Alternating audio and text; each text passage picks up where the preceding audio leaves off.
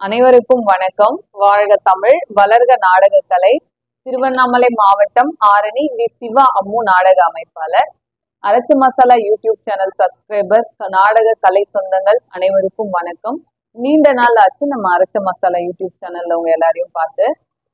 இப்ப பாத்தீங்கன்னா நம்ம அரைச்ச மசாலா சேனல்ல தொடர்ந்து ரெண்டு வருஷமா நம்ம சேனல் அரைச்ச மசாலா சேனல் ஓபன் பண்ணி ரெண்டு வருஷமா வெற்றிகரமா எல்லா கலைஞர்களையும் பேட்டி எடுத்து போட்டுக்கிட்டு இருக்கோம் அதுல வந்து பாத்தீங்கன்னா நிறைய ரசிகர்கள் அவங்க அவங்களுக்கு பிடிச்ச கலைஞர்களை அக்கா எனக்கு இந்த அண்ணாவோட பேட்டி போடுங்க இந்த கலைஞரோட பேட்டி போடுங்க அப்படி சொல்லிட்டு எனக்கு கேட்டுட்டு இருப்பீங்க நீங்க எல்லாருமே நீண்ட நாளா கேட்டுக்கிட்டு இருக்க உங்க எல்லாருக்குமே பிடிச்ச காமெடி நடிகர் நம்மளுடைய பிருதூர் ரமேஷ் அண்ணாவை பத்தி. இப்போ நம்ம அரைச்ச மசாலா யூடியூப் சேனல்ல உங்களுக்கான பே பேட்டி இப்போ வரப்போகுது. எனது கலை சொந்தங்களுக்கும் என் உயிரிலும் மேலான உடன்பிறப்புகளுக்கும் என் முதற்கண் வணக்கத்தை தெரிவித்துக் கொள்கிறேன். ரமேஷ் அண்ணா வணக்கம். ஆஹ் நீங்க வந்து எல்லா மக்கள் மனசுலயும் ரொம்ப இடம் பிடிச்சிருக்கீங்க. இது எல்லாத்த விட சக்தி கணபதி நாடக மன்றத்துக்கு மீண்டும் நீங்க வந்திருக்கீங்க. ரொம்ப மகிழ்ச்சியா இருக்கு. அதாவது இருந்த இடத்த வளர்ந்த இடத்த மறக்க கூடாதுன்னு சொல்லுவாங்க. அந்த மாதிரி மறக்காம மீண்டும் நான் வந்து சக்தி கணபதி நாடக மன்றத்துக்கு வரணும் அப்படின்னு சொல்லிட்டு நீங்க விருப்பப்பட்டு வந்திருந்தீங்க. உங்களுடைய அனுபவத்தை பத்தியும் நீங்க எப்படியெல்லாம் இதுக்கு முன்னாடி நாடகத்துறையில வந்தீங்க உங்களுக்கு இதுக்கு யாரெல்லாம் சப்போர்ட்டா இருந்தாங்க? இப்போ மக்கள் மனசுல நீங்க எந்த அளவுக்கு இடம் பிடிச்சிருக்கீங்க? அப்படின்னு சொல்லிட்டு ஒவ்வொரு விஷயத்தையும் இப்ப நம்ம அரைச்ச மசாலா யூடியூப் சேனல் மூலியமா மக்கள் கிட்ட நீங்க பகிர்ந்துக்க போறீங்க ரமேஷ் அண்ணா. இப்போது சக்தி கணபதிக்கு நாடக கம்பெனிக்கு நிர்வாகியாகவும் இந்த கம்பெனியை எடுத்து நடத்தும் வழியாகவும் இந்த கம்பெனிக்கு வந்திருக்கிறேன். எனக்கு பொதுமக்களாகிய நீங்கள் ரசிகர்களாகிய நீங்கள் பெரும் ஆதரவை தர வேண்டும் என்று தங்களை வேண்டி விரும்பி கேட்டுக்கொள்கிறேன். அண்ணா நீங்க என்ன படிச்சிருக்கீங்க அண்ணா? நான் வந்து எட்டாவது தான் படிச்சிருக்கேன். ஏன் அதுக்கப்புறம் நீங்க படிக்கல? இல்லை இந்த கலைத்துறைக்கு வரணும் அப்படின்னு. அதாவது வாழையடி வாழையாக எங்கள் தாத்தா நடிகர் எங்கள் அப்பா நடிகர் எங்கள் சித்தப்பா நடிகர். அதுக்கப்புறம் அந்த கலைத்துறையில் நான் வரணும் அப்படின்னு ஆசைப்பட்டாங்க. அதனால் இந்த கலைத்துறைக்கு வந்தேன். கலைத்துறைக்கு வந்தது இப்போ ரொம்ப பெருமையாக இருக்குது. உலகமெங்கும் தெரிஞ்சிருக்குது ரமேஷ்னா. ரசிகர் நிறைய இருக்காங்க போகிற இடமெல்லாம் அண்ணா வணக்கண்ணா வணக்கண்ணான்னு சொல்லும்போது எவ்வளோ பணம் சம்பாதிச்சாலும் இந்த மாதிரி பேர் வர்றது ரொம்ப கஷ்டம். அந்த பேரை எடுத்துருக்கும் போது எனது ரசிகர்களுக்கும் அந்த கலைவாணிக்கும் என்னை வழிநடத்திய கம்பெனி உரிமையாளர்களுக்கும் யூடியூப் சேனல்களுக்கும் என் மனமார்ந்த நன்றியை தெரிவித்துக் கொள்கிறேன். சிவா ஐயா அதாவது என் அப்பாவை பத்தி நீங்க சொல்லுங்க. உங்களுக்கும் அப்பாவுக்கும் எவ்வளவு நாட்கள் நட்பு? அவர் சிவாஜியா இருக்கும்போது அப்போல்லாம் சின்ன பையன் நான். அதிகமாக அப்போல்லாம் தெரியாது. அப்போல்லாம் யூடியூப் கிடையாது. வேன்லாம் இல்லை இல்லை. கடையாண்டு வருவேன் பார்த்து பேசுவார். என்ன ரமேஷ் எப்படி இருக்கு அப்படின்வாரு நல்லா அவங்க பையன் மாதிரி பேசுவார். பேசிட்டு உடனே உடனே அங்கேருந்து கிளம்பிடுவோம் நாடகத்துக்கு. அப்பா வந்து உங்களை பத்தி எப்படி எல்லாம் நாடகம் புக் பண்ணும்போது சொல்லி புக் பண்ணுவாரு அப்படிங்கறத பத்தி உங்க அனுபவத்தை பத்தி சொல்லுங்க. அதெல்லாம் நிறைய நடந்திருக்கு. ரமேஷ் இருக்கார் கம்பெனியில் ஏன்னா அப்போல்லாம் நிறைய புராணம் தான் ஆடி இருந்தோம் அதனால் ரமேஷ் இருக்காரு அப்படின்னு சொல்லி ஏன்னா ராமாயணம் அந்த மாதிரி நாடகத்தெல்லாம் நிறைய வேஷங்கள்லாம் ஆடிருந்தேன் அதனால் ரமேஷ் இருக்காரு அப்படின்னு சொல்லி அப்போவே புக் பண்ணுவார் சிவான்னு. அதெல்லாம் எந்த இது இல்லை. உங்களுடைய சகோதரி அம்மு என்ன பத்தி சொல்லுங்க ரமேஷ் அண்ணா. அவர் சிவான்னு இருக்கிற வரலும் இவங்க யார் அவங்க பொண்ணா அப்படின்லாம் நமக்கு தெரியாது. அதுக்கப்புறம் அவர் இறந்துட்ட பிறகு இவங்க ஏஜெண்ட்டாக வந்த பிறகு தான் தெரியும். அண்ணா அண்ணன் தான் கூப்பிடுவாங்க. மரியாதைனா அண்ணன் தங்கச்சின்ற மரியாதை. ரொம்ப நட்பாக பழகுவாங்க. மூன்றாவது தலைமுறையா நடிக்க வந்திருக்கிறதா சொல்றீங்க. நீங்க ஏன் சின்ன வயசுலயே நாடகத்துறைக்கு வந்துட்டீங்க? அந்த அனுபவத்தை பத்தி சொல்லுங்க. அது கலைவாணிக்கு தான் நன்றி சொல்லணும். யார் யார் எந்தெந்த வேலை செய்யணும் கலைவாணிக்கு தான் தெரியும். இந்த துறைக்கு வந்தால் இவ்வளோ பேர் இருக்கும் அப்படின்னு கலைவாணிக்கு தெரிஞ்சுது. அதனால் இந்த துறைக்கு கலைவாணி என்னை அனுப்பியிருக்கா என்னால் முடிஞ்ச அளவுக்கு நான் ரசிகர்களை மகிழ்ச்சி மகிழ்ச்சிட்டு வரேன். நீங்க முதல் முறையா என்ன வேஷம் போட்டீங்க? முதல் முதல்ல அப்படின்னா பப்புனு வேஷம் தான் சும்மா ரோட்டில் விளையாடி இருக்கும்போது கூப்பிட்டு போனாங்க. கூப்பிட்டு போயிட்டு வேஷம் ஆடுறியா அப்படின்னாப்புல ஆடுறேன்னு எங்கள் ஊரில் மிருதங்கார் மிருதங்க சக்கரவர்த்தி. அவர் தான் வண்டியிலே கூப்பிட்டு போனார். முன்ன உட்கார வச்சுட்டு போனார். பவுட்ரு எடுத்து மூஞ்சில் ஊற்றிட்டு நான் சொல்கிறது அப்படியே சொல்லுன்னாரு. அன்னிலேருந்து இந்த கலை பயணம் எனக்கு தொடர்ந்தது. மேடை ஏறும்போது உங்களோட வயசு என்னன்னா? மேடை ஏறும்போது பன்னெண்டு வயசு. முதல் முதல்ல மேடை ஏறும்போது உங்களுடைய அனுபவம் எப்படி இருந்தது அண்ணா? ஒன்றும் தெரியல நமக்கு ஏன்னா ரத்தத்திலே ஊறி இருக்கு இல்லையா? கலை இதுன்றது. அதனால் அப்போ ஒன்றும் தெரியல. அப்பா தாத்தா இவங்கெல்லாம் நாடகம் நடிக்கும் போது நீங்க பார்த்துருக்கீங்க. அப்பா வந்து குறிக்கார வேஷம் ஆடுவார் சித்தப்பா வந்து குறிக்கார வேஷம் ஆடுவாங்க. தாத்தா வந்து ராஜபாட்டு யம பிருதூர் பொன்னப்பானா எல்லாருக்குமே தெரியும். அவராக கூடவே ஒரு நாலஞ்சு நாடகம் ஆடி இருக்கிறேன் தாத்தா கூடவே. ஆனால் அவரெல்லாம் கம்பெனிக்கு இட்டு போனது கிடையாது. அதுக்கப்புறம் அதே வந்தவாசியில் இருந்தவங்க வாப்பா கம்பெனிக்கு அப்படின்னு கூட்டிட்டு போனாங்க. அப்பா உங்களுடைய நாடகத்தை பார்த்துட்டு அப்ப என்ன நான் சொல்லியிருக்காரு? அப்பா வந்து நாடகம் பார்க்கல. அவர் கூட்டு போன ஒரு மிருதங்காரு என்னுடைய குரு அவர் வந்து சொன்னார் உங்கள் பையன் நல்லா நடிக்கிறான் அப்படின்னு சொன்னாங்க. அதோட பள்ளிக்கூடத்தெல்லாம் ஸ்டாப் பண்ணிட்டேன். ஸ்டாப் பண்ணிவிட்டு சரி இதுக்கே போவோம் அப்படின்னு அமுச்சு வச்சுட்டாங்க. அந்நேரத்துக்கு வருமே ஒன்றும் பண்ண முடியாது. அதனால் சரி இதிலே போட்டோம் அப்படின்னு அமுச்சு வச்சுட்டாங்க. முதல் முதல்ல அஞ்சு ரூபா. முதல் சம்பளம் அஞ்சு ரூபா. அதுக்கப்புறம் பத்து ரூபா கொடுத்தாங்க. அதுக்கப்புறம் இருபத்தஞ்சி ரூபா கொடுத்தாங்க. அப்புறம் அரை பங்குன்னு ஒன்று வச்சாங்க. அரை பங்குன்னா அப்போ ஐம்பது ரூபா அவ்வளோதான் வரும். முத முதல்ல வாங்கின சம்பளத்தை எங்கள் அப்பா அம்மாண்ட எடுத்துமே கொடுத்தாரு. எதுவாக இருந்தாலும் என் அப்பா அம்மாண்ட கொடுத்துட்டு செலவுக்கு வேணால் வாங்கிடுவேன். அம்மாண்ட தான் முதல்ல முதல்ல எடுத்துமே கொடுத்தேன் காசை.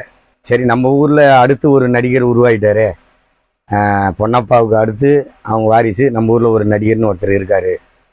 அப்படின்னு ரொம்ப பெருமையாக பெருமைப்பட்டாங்க. இப்போ எங்கள் ஊருக்கே நீ தான் பெருமை அப்படின்னு சொல்கிற அளவுக்கு வளர்ந்துருக்கிறேன். இப்போது விருதூர் ரமேஷ் அப்படின்னா விருதூர் எங்கே இருக்குது அப்படின்னு தெரியறதுக்கு காரணம் நீ தான் ரமேஷ் அப்படின்னு ரொம்ப பெருமையாக பேசுகிறாங்க நல்ல மரியாதை இப்போ நம்ம ஊரில். பொதுவாகவே நான் சொல்லியிருக்கேன் நாடக கலைஞர்களுக்கெல்லாம் சீக்கிரத்தில் பொண்ணு கிடைக்காது அப்படின்னு சொல்லிட்டு. என் அப்பாவுக்கே ரொம்ப நாள் பொண்ணு தேடி அலைஞ்சிருந்தாங்க அப்படின்றதெல்லாம் நான் உங்ககிட்ட பகிர்ந்திருக்கேன். அதே மாதிரி பப்பு வேஷம் போட்டவர் தான் போட்டுட்டு இருக்கவர் தான் நீங்களும். உங்களுக்கு எப்படி எல்லாம் பொண்ணு பார்த்த அனுபவம் திருமணம் ஆகிடுச்சா உங்களுக்கு எத்தனை பிள்ளைகள்? அதை பத்தி சொல்லுங்க ரமேஷ் அண்ணா. கல்யாணம் ஆயிடுச்சு. ரெண்டு பசங்க எனக்கு. பெரியவன் பத்தாவது படிக்கிறான். அவன் பேர் பரத். பாப்பா வந்து ஒன்பதாவது படிக்கிறா. அவள் பேர் ஜீவிதா. எல்லாம் அவங்களும் கலை கலைத்துறையில் தான் இருக்கிறாரு அவர் மாமனார். பம்பை வாசிக்கிற ஒரு பம்புகார் அவர். அதெல்லாம் ஒன்றும் பிரச்சனை இல்லை. நாடகாரன்னும் போது ஒன்றும் பிரச்சனை இல்லை. சொந்தத்தில் தானே பொண்ணு எடுத்தோம். அதனால ஒன்றும் பிரச்சனை இல்லை. உங்களோட நாடகத்தை மக்களாகிய நாங்க எல்லாருமே பார்த்து கண்டுகளிக்கிறோம். ஆனா உங்க வீட்டுல உங்களுடைய அம்மா அப்பா அப்புறம் உங்களுடைய மனைவி பிள்ளைகள் உங்களுடைய நாடகத்தையும் உங்களுடைய காமெடியும் பார்த்துட்டு என்னென்ன சொல்றாங்க? அதை பத்தி பகிர்ந்துக்கோங்க. நாடகம் நிறைய பார்த்துருக்காங்க. அதே மாதிரி செல்லையும் பார்ப்பாங்க. பார்த்துட்டு அவங்க எதுவும் கமெண்ட்லாம் சொல்ல மாட்டாங்க. நாடகம் நல்லா இருக்குது அப்படின்னுவாங்க. வெளியிலேருந்து ஃபோன் வர்றது வண்டியில் போகும்போது அவங்க பார்த்து வணக்கம் வைக்கிறது பேசுறது ரமேஷ் அண்ணா உங்கள் நாடகம் நல்லா இருக்குது. அப்படின்னு சொல்லும் போது வீட்டில் வந்து கேட்பாங்க. இந்தளவுக்கு நடிக்கிற? அப்படின்னு ஆச்சரியமாக கேட்பாங்க.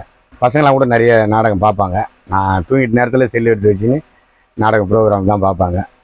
பார்த்துட்டு அப்புறம் இது யாருப்பா அது யாருப்பா இது நீ அது அப்படின்னு கேட்பாங்க.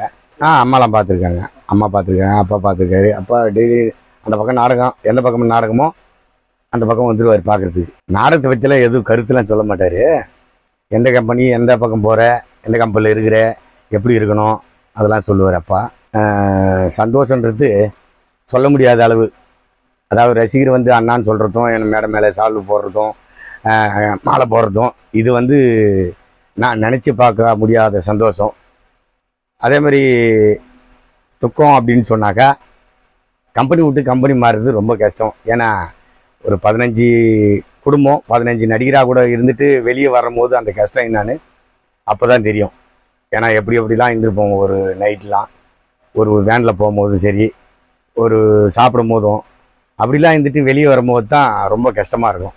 கஷ்டம்னா அதை தான் சொல்லணும். இப்ப நாடகம் நம்ம வந்து பாத்தீங்கன்னா ஒரு சீசன் தான். இந்த சீசன் டைம்ல தொடர்ந்து நிறைய நாடகங்கள் இருக்கு. இப்பெல்லாம் பாத்தீங்கன்னா நாடக மன்றங்கள்ல இருநூறு இருநூத்தம்பது நாள் நாடகம் தொடர்ந்து ஆடிக்கிட்டு இருக்காங்க. ஆனால் இப்ப பாருங்க புரட்டாசி மாசம் மழை பெய்ய ஆரம்பிச்சிருச்சு. நம்மளோட சீசனும் இந்த டைம்ல முடியுது. இந்த நேரத்துல இந்த மாதிரி சீசன் இல்லாத இந்த ஒரு மூணு மாசத்துல வேற என்ன நான் வேலைக்கு போவீங்க? நாடகம் ஆடுறது மட்டும்தான் வருமானமா? இல்ல வேற ஏதாச்சும் வேலைக்கு போறீங்களா? பகலில் வேலைக்கெல்லாம் போக முடியாது. ஏன்னா நைட்லாம் கண்ணு முடிச்சுட்டு போய் தூங்குறது தான் சரியாக இருக்கும். வீட்டில் உள்ள வேலையே சரியாக இருக்கும். காய்கறி வாங்கிறது வீட்டுக்கு குழந்தைங்களுக்கு தேவையானது தண்ணி எடுத்தாது இந்த மாதிரி வேலையே சரியாக இருக்கும். வேறு வேலைக்கு போக முடியாது. போயிட்டு வந்தாக்கா தூக்கம் வந்துடும் தொண்டை பாதிக்கும். தொண்டை பாதிச்சுன்னா ரசிகருக்கு மாதிரி பேர் எடுக்க முடியாது. அதனால் பொதுவாக வேலைன்றது பகலில் வேலைன்றது அது போகிறது கிடையாது. நாடகத்துக்காக. உங்களுக்கு எக்கச்சக்கமான ஃபேன்ஸ் இருக்காங்க. நிறைய ரசிகர்கள் இப்ப இருக்கிறாங்க. ரசிகர்களுக்கு நீங்க சொல்ல வர கருத்துக்கள் என்ன? ஏதாவது விஷயத்த நீங்க நடி உங்களுடைய நாடக கலை ரசிகர்கள் கூட பகிர்ந்துக்கணும்னு நினைக்கிறீங்களா? உங்க மேல மக்கள் ரொம்ப அளவுக்கு அதிகமா அன்பு கா- காட்டிட்டு வராங்க. நீங்க எந்த கிராமத்துக்கு போனாலும் இப்ப பாத்தீங்கன்னா சக்தி கணபதியில முதல் நாள் நீங்க வந்துட்டு அவலூர்பேட்டை பக்கத்துல மேக்கலூர் ஆடினீங்க. அந்த ஊர்ல பாத்தீங்கன்னா உங்களுக்கு நிறைய வரவேற்பு கிடைச்சது. மேடையிலேயே உங்களை நிறைய பேர் கௌரவிச்சிருந்தாங்க. அப்ப ரசிகர்கள் உங்களுக்கு ரசிகர்கள் உங்களை ரொம்ப வரவேற்கிறாங்க இல்லைங்களா? அப்படிப்பட்ட ரசிகர்களுக்கு நீங்க என்ன சொல்ல வரீங்க? உங்களுடைய கருத்துக்களை பரிமாறிக்கோங்க. நடிகர் நல்ல நடிகர் வெளியே வருவதும் நடிக்க தெரியாதனும் அப்படியே இருப்பதும் யார் கையில் இருக்குன்னா ரசிகராகிய உங்கள் கையில் தான் இருக்கிறது. சிறந்த நடிகன் யார் என்பது உங்களுக்கு தான் தெரியும். அவர்களை வெளியே கொண்டு வருவது நீங்கள் தான். ஒரு நடிகன் பெரிய அளவுக்கு போவதும் அப்படியே இருப்பதுக்கு காரணமும் ரசிகர் பெருமக்களே நான் இந்த அளவுக்கு உயர்ந்ததுக்கு காரணமும் அதாவது ஒரு நடிகனா சும்மா வீடியோ எடுத்து ஃபோட்டோ எடுத்து போட்டுருந்தா அவன் பெரிய நடிகன் ஆக முடியாது. அவன் கஷ்டம் என்னன்னு ரசிகருக்கு மொத்தத்தில் தெரியுது.